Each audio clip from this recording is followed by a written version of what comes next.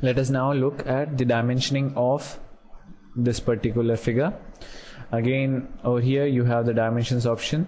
Let us close this ellipsis. Element selection can be brought over here and I'm draw I'm putting this AccuDraw docking it at the bottom. In the dimensions option first one we have already seen dimension element. Click on this and you have the dimension placed over here. Now again the dimension is coming too big too huge you can do the same thing which we had done earlier. That is select it delete it for now. Next go to element select the dimensions option. Go to text height and width lock it and let it be some 2 units. Both will be 2 close it now. Select this option and you can see this is how the dimension appears again in order to reduce these sizes I can again delete this element dimensions units it be to 0.12 and text let us bring it further down to 1 unit. Lock it. Both of them are 1 closes. Select this and you can check this dimension in this way. The next dimension over here is 4 select it and you have the dimension placed over here in this way okay. Now for excuse me for the circle you can select this option over here dimension radial select this click on the circle over here and you get this diameter option over here. If you would want to specify the radius you can select the radius over here okay. Select the radius option click on this and now you have the 0.5 mm radius specified in this way. That is the radius option over here. Now whenever you're trying to specify the dimensions of the circles you have a number of options over here. Center mark select the center mark option click on the circle and you get a center mark placed over there. If you do not want it I'll just go with undo and it has been removed.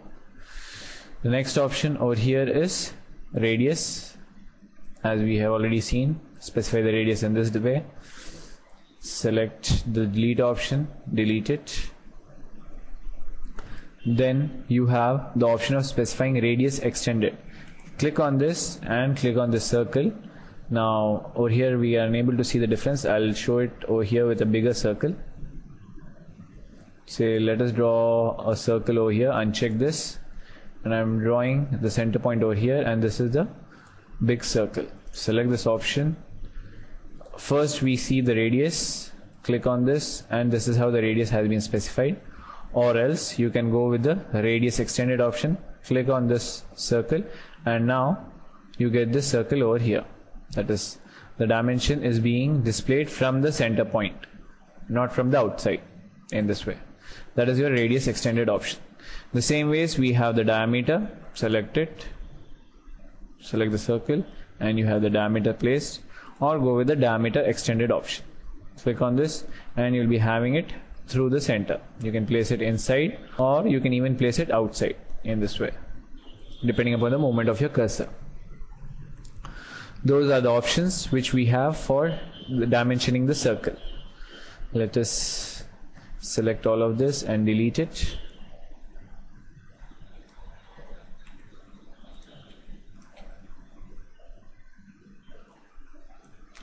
and now let us draw one random figure wherein we'll be able to see the rest of the options in the dimensions.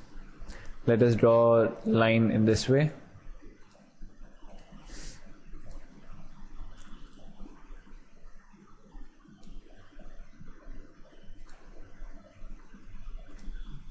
Now if I want it till that level I'll hit enter which gets logged in this direction. Click on this and you have it till that level and click.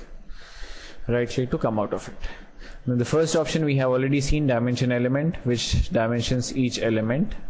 You can also go with this option over here dimension size with arrows. That is first let me delete this. Okay. Now I'll go with update in order to see these lines. Okay. Then the next option over here is dimension size with arrows. Click on this and click on the first point from where you want the dimension to start. And then you need to click the extension lines. That is the extension lines which you have for the dimensions. The extremity or the last level of that extension line. Define the length of the extension line. You can read it over here. I need to click somewhere over here which becomes the length of the extension line. And next you need to select the endpoint of the dimension I'll select the endpoint over here after which you do not come out of the command. You can proceed and create a chain of dimensions over here in this way and proceed along in this direction. You can keep on proceeding over here here here etc right click to accept. In this way you can use your continuous dimensions option. I'll go with undo. Select it. First point over here one point over here which determines the length of the extension line. Then comes the second point or the end point of your dimensions in this way. There is one more option over here called dimension size stroke. When you select this over here I'm selecting this point and this extension line length and then over here. And you can see the difference over here is in the strokes instead of the arrows you have these strokes present over here. Then next let us look at this particular dimension. Dimension ordinates option. Select the dimension ordinates option over here. And this option is used whenever you want to specify the coordinates x and y coordinates of a particular point. First I'll place it over here and I'll click over here. You can see the zero value being displayed over here. That is the first point or the base point has been placed over here. And next with respect to this will will be specifying the rest of the dimensions. That is the coordinate values. Whenever you are using your lines over here in microstation the method is relative. That is suppose you are drawing a line in this way. Now whenever you are going to specify the next point. You are specifying the next point with respect to the previously entered point the relative point not with respect to the origin. It is it has got nothing to do with the, the origin. The dimensions which you are specifying over here in your AccuDraw is with respect to your previous point. In the same way you will be dimensioning the coordinates as well the ordinates of a particular point. I'll stop the session over here and we'll continue the rest of all the dimensions in the next session